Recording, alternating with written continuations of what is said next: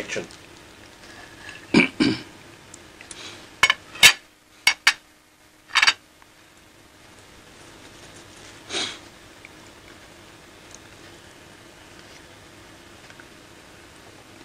มนุษย์เราก็ของอยู่ของกิน ของใช้ ของเก็บ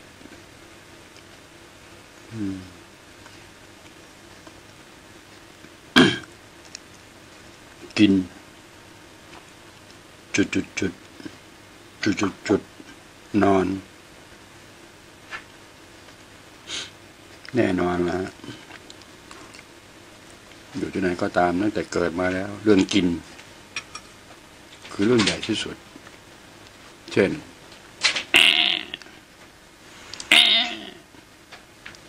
ต้องหาใส่ปากแล้ว นี่คือธรรมชาติของสัตว์โลก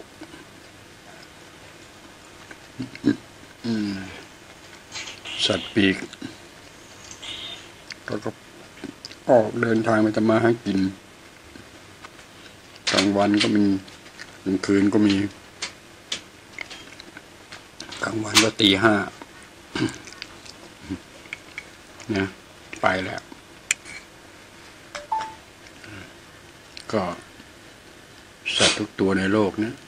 สัตว์ปีก อยู่ประเทศไหนก็ตีสี่ครึ่งตีห้าไปแล้ว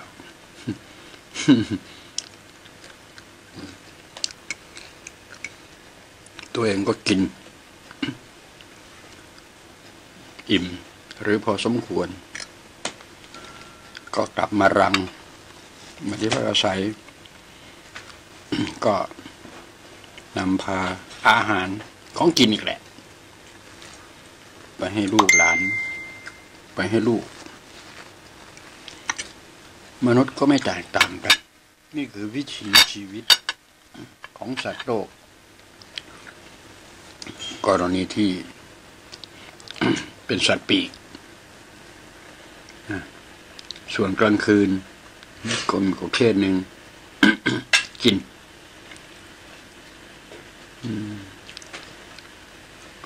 กลางคืนเนี่ย ประเภท มีเรดาร์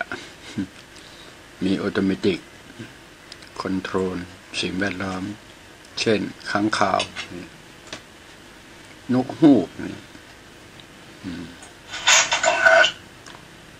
นั่นก็คือเขาไปตามวิถีชีวิตของเขาแหละ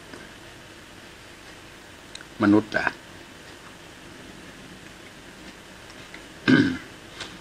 มันก็เลือกได้เนาะแน่นอน การที่จะเป็นมนุษย์อยู่ในขั้นที่เลือกได้ มันก็ต้องมีความรู้ทางโลก และมีความสามารถในการกระทำใด ๆ ก็คือประกอบสมาชีพชอบทางโลกโลกนั่นแหละครับ จึงจะเลือกกิน ในสิ่งที่สมควร ก่ร่างกายของตัวเองที่ต้องการ ทั้งหญิงและชายต่างวัยต่างขนาด เรื่องกินเนี่ยก็ถือเป็นเรื่องใหญ่ที่สุด วันหนึ่งวันหนึ่งกินอะไรเข้าไป ถ้าหากว่าเริ่มกิน ตั้งแต่เริ่มแรก สิ่งที่กินนั้นเป็นธรรมชาติ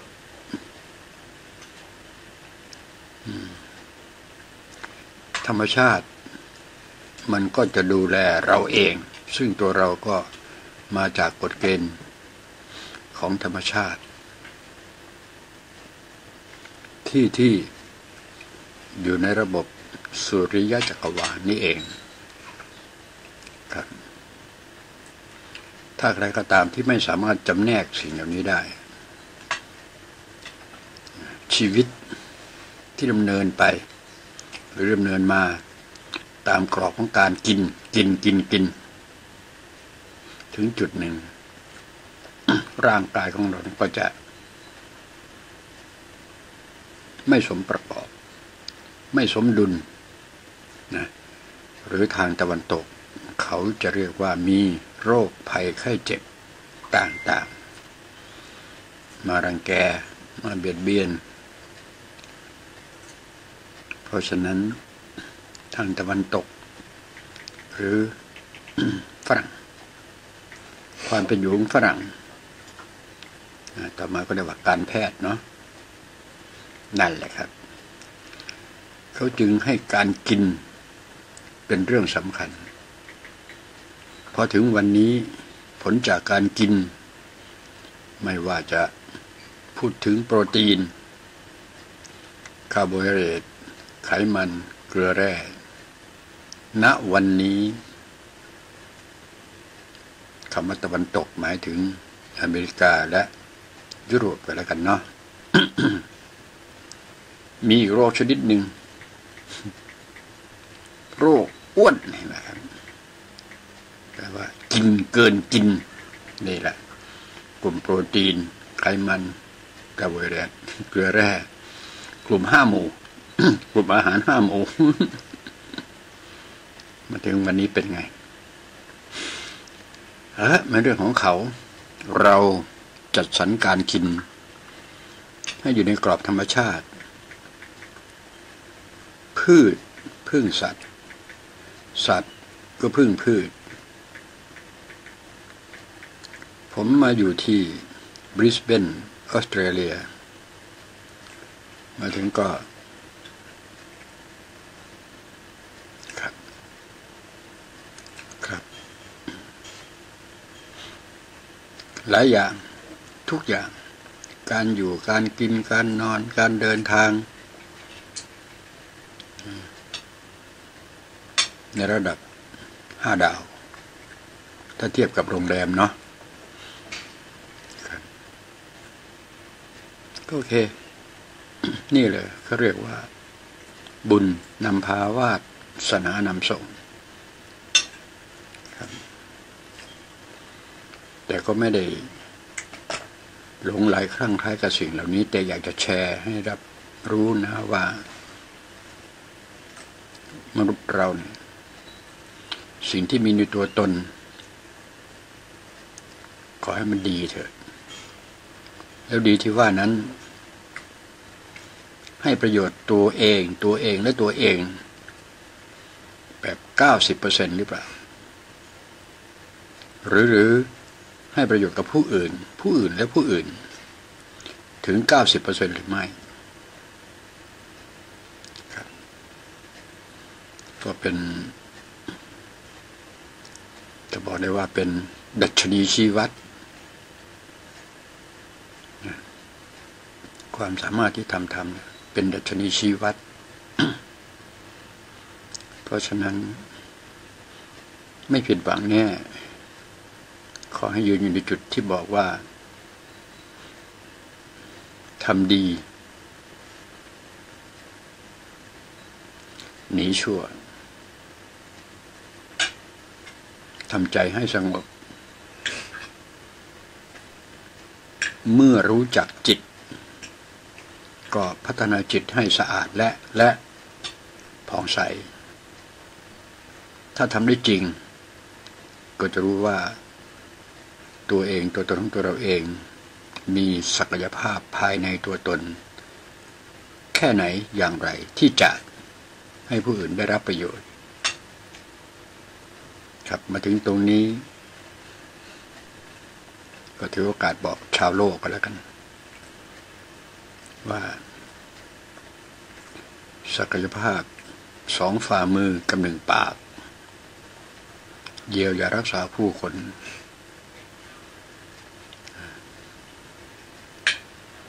เป็น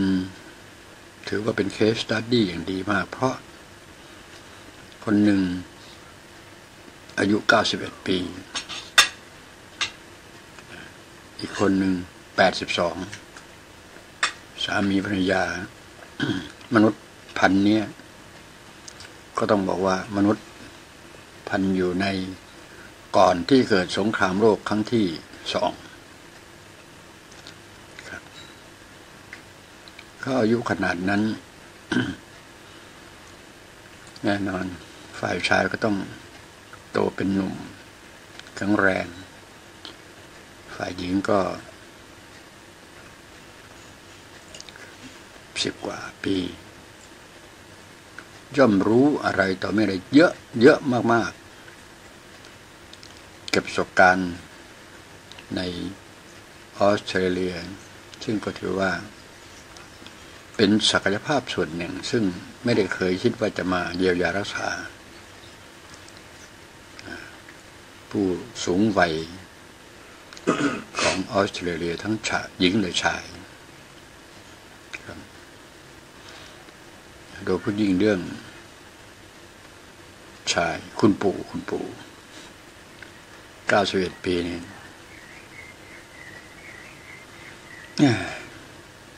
ถ้าเล่าในทางลึก ของการเยียวยารักษา มันก็จะไป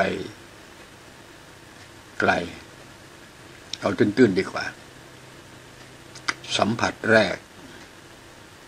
เมื่อลงจากเครื่องบิน ก็ดิ่งไปหาผู้ป่วย ซึ่งเป็นบิดาของเจ้าของ บ้านที่ให้มาอยู่มากินมานอน ระดับห้าดาวที่ว่านี่หลังจากสัมผัสแล้ว ก็พยายามถามท่านนะว่า ก่อนที่จะลุงออกจะสัมผัสตัวตนของผู้สูงวัยท่านเนี้ยเรียกกันได้ว่า จะถึงเมอริคริสต์มาสปี สองศูนย์หนึ่งเจ็ดหรือเปล่าก็ไม่รู้เนาะรู้เนาะเพราะอะไร ตาเนี่ยจะลืมไม่ขึ้นอยู่แล้ว ไม่ต้องพูดถึงอย่างอื่นในการมูฟเมนต์นู่นนี่นั่นเขาสัมผัสแรกเท่านั้นแหละครับ ไม่เกิน ทุกคนก็จ้องมองว่าลุงออกสัมผัสยังไง ผู้ป่วยอายุ 91 ปีที่ผ่านจึง เหมือนกับสตาร์ทเครื่องยนต์ใหม่ได้เลยครับ หายใจกระเพื่อมทันที หลังจากที่อ่อนแรงอ่อนแรงไปเรื่อย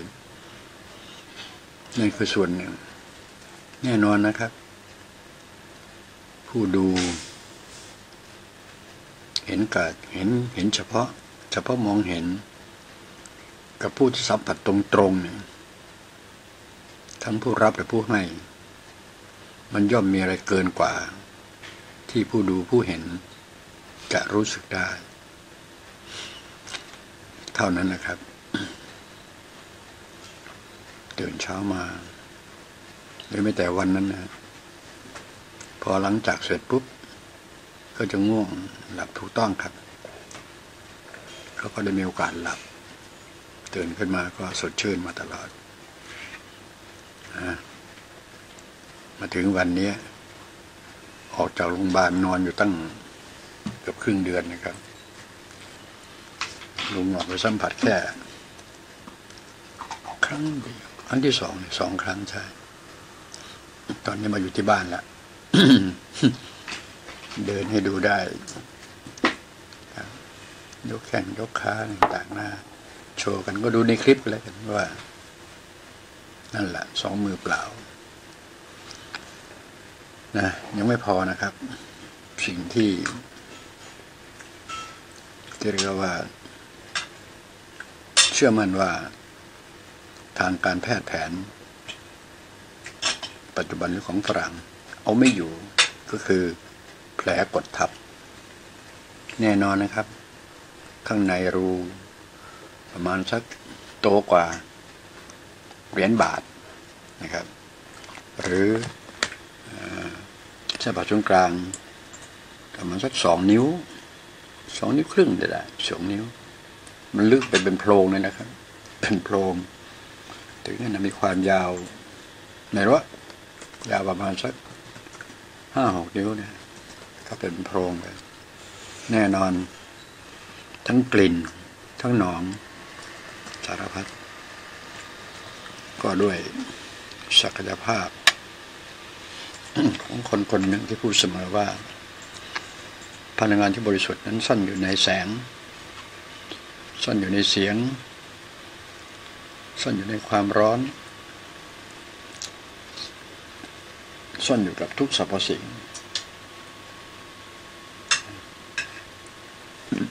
ศักยภาพของเครื่องมือตรงนี้ครับแฟดธรรมดาธรรมดา นะใส่เข้าไปทีปรากฏว่า เช้าวันนี้ รายงานมาเรียบร้อยแล้วว่า แผลที่มีน้องเขาคันกันมากี่วันไม่รู้ เจอไปครั้งเดียวเมื่อวานนี้ไปสองครั้งสิครับ ครั้งแรกก็อยู่ที่โรงพยาบาลนู่นครั้งที่สองที่บ้าน ตื่นเช้ามาเมื่อเช้าเนี่ยโอ้รายงานผลมา เหมือนกับเซลล์ได้สร้างขึ้นมาใหม่ จากน้องแต่ว่าก็ควานเขาล้างตลอดเวลา ยิ่งควานยิ่งเยอะ ยิ่งใส่น้ำเกลือเข้าไปล้างต่างยิ่งเยอะ แต่ชักภาพตัวนี้สามารถที่จะทำให้เซลล์เพิ่มมาเพราะฉะนั้นจึงอนุมาน โดยความเชื่อมั่น ในส่วนตนตัวเองเนี่ยครับอ๋อพลังงานที่บริสุทธิ์เนี่ย สามารถที่จะกำจัดเซลล์ที่มันเสียออกไป พวกน้องต่างๆกำจัดออกไป แล้วก็สร้างเซลล์ใหม่ขึ้นมาทดแทน สิ่งนี้นะครับเป็นสิ่งมหัศจรรย์มากเพราะฉะนั้นย้ำคำว่า เซลล์ใด ๆ ที่ถูกอะไรก็ตามที่ทำลายให้เกิดการสูญเสีย ไม่ว่าจะเซลล์ของของปอด ของตับไตไส้พุงต่างๆนะผมไม่อยากจะพูดคำต่อไป ให้สะเทือน วงการแพทย์แผนปัจจุบัน เพราะผมจะรู้ว่าไอ้สิ่งที่เขาเรียกขานกันมารงมะเร็ง มาเสงมาเมียวบรากาจอกุลคำคำเนี้ยผมถูกถามตั้งแต่ที่แรกแล้วอยู่ใน YouTube บ้านหลอนทีวีใครอยากจะรู้ว่าพิธีกรเขาถามผมว่าอะไร ภาวะหลุดโลกครับกดไปดูครับ YouTube บ้านเราดอทีวีไปหาต้นเรื่องจริงเขาถามผมว่ามะเร็ง รักษาได้ไหม ในใจผมจะไม่พูดนะ แต่วันนี้ขอพูดทีเถอะผมไม่โง่พอจะไปรักษาหรอกใครอยากโง่โง่ไปนะผมจะรักษาเฉพาะความสมดุล ร่างกายขาดความสมดุล รักษาความสมดุลของร่างกายมนุษย์อันประกอบไปด้วย ร่างกายใจ นั้นร่างกายถูกทำลายด้วยวิธีกระตามทีแปลว่าขาดความสมดุล บัดนี้ศักยภาพสองมือเปล่ากับเครื่องมือทุนแรงนิดนิดหน่อยมาใช้ประกอบกัน เชื่อมั่นครับว่า เกิดขึ้นมาแล้วครับ ในแผ่นดินลูกใบนี้ ได้มีโอกาสมาใช้กับบุคคลที่มีอายุ 91 ปี ลงจากเครื่องมาใช้ทันทีที่แผ่นดินที่เรียกว่าทวีป หรือประเทศออสเตรเลีย ก็แปลว่า ถ้าหากว่า แผ่นดินนี้เขามีสิ่งศักดิ์สิทธิ์อยู่เนาะน่าจะสิ่งนั้นนะก็คงจะต้องมารับรู้รับทราบ และรับรอง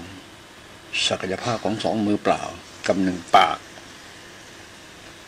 เชื่อว่าจะช่วยมนุษย์ได้อย่าง ลงตัว ทั้งหญิงและชายต่างวัยต่างขนาด ต้องขอบคุณ ขอบคุณบรรพบุรุษ พ่อแม่ปู่ย่าตายาย ที่ใช้หลักการทุกสมุทัยนิโรธ ตามหาที่มาของตัวตนของตัวเอง ซึ่งผมนี่เป็นคนที่พูดว่า ผมกับพ่อแม่ของผมปู่ย่าตายายของผม เกิดเองเกิดพร้อมกัน และเกิดพร้อมกับโลกใบนี้ ดูสิครับคำพูดนี้มาจากไหนแน่นอนทุกคำพูดจะมาจากความคิด ทุกความคิดจะมาจาก สิ่งที่คิดเอาไม่ได้ ยกเว้นภาษาที่พูดกันคือจิตนั่นเองครับ มันมาจากตรงนั้นครับนะหลายๆคนบอกว่าจิต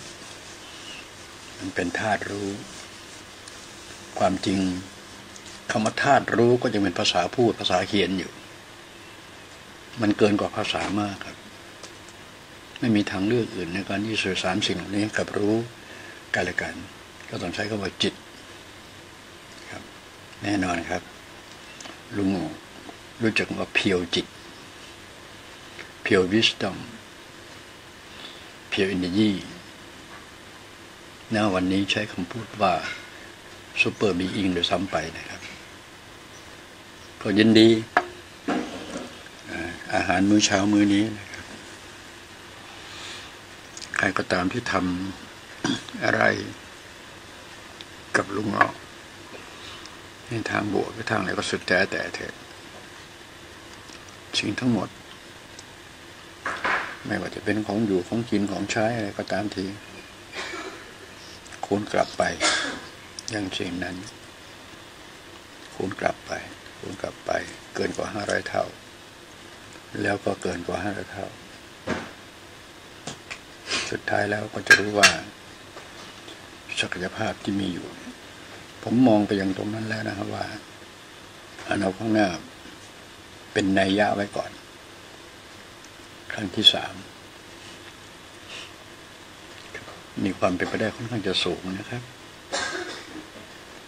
ใครก็ตามที่สามารถรับพลังงานที่บริสุทธิ์นี้ได้ เขาจะมาทำหน้าที่ปกป้องคุ้มครอง หรือว่ารักษาตัวเอง หากเกิด สิ่งที่เลวร้ายที่สุดที่มาจากวิทยาศาสตร์ จะเป็นคลื่นเป็นตัวเล็ก ที่เขาเรียกว่านาโน นาโนก็เชื่อมั่นว่าจะเป็นการป้องกันได้ ถ้าหากว่าเป็นการตายเกิดขึ้น กับมนุษย์โลก ชุดนี้นะเป็นชุดที่ตายเป็นคนสุดท้ายหรือกลุ่มสุดท้าย ถ้าหลงเหลืออยู่ก็เป็นเผ่าพันธุ์ใหม่ของนุษยชาติในศตวรรษยี่สิบเอ็ดก็แล้วกัน เอาละขอเป็นชิ้นสุดท้าย ขอบคุณครับ thank you very big สำหรับท่านที่ติดตามครับผม